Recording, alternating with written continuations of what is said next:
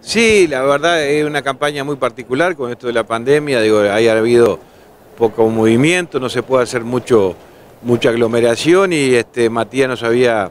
invitado para, su lanzamiento y, este, y bueno, y entendimos oportuno acompañar a él y a, Ana en esta, en esta oportunidad para poder este, digo, demostrar nuestro trabajo, nuestro esfuerzo y nuestro compromiso este, en lo que serán los próximos cinco años donde vamos a estar muy cerca de, la Intendencia y del municipio, desde el Gobierno Nacional, respaldando lo que es una, este, una política eh, muy clara y marcada del Presidente de la República desde el fortalecimiento de la descentralización, donde hemos logrado incorporar al presupuesto eh, más recursos para los municipios, más recursos para las intendencias,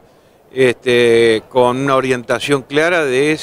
este, justamente levantar el estándar de calidad en lo que hace a la obra pública y bueno, y estimamos que, este, que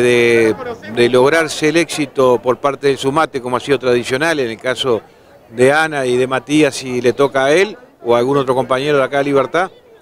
este, vamos a poder trabajar muy cercano a ellos, es una tarea que nos gusta, y, bueno, más allá de que tenemos que distribuirnos en todo el país, hemos estado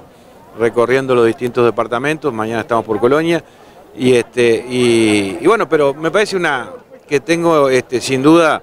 un deber muy importante por delante, una tarea muy linda por delante, pero por sobre todo no queríamos dejar de estar respaldando un grupo que durante mucho tiempo me respaldó a mí y que hoy este, sin duda para mí es un honor poder acompañar a, nuestro grupo eh, dentro de las posibilidades y el tiempo que disponemos.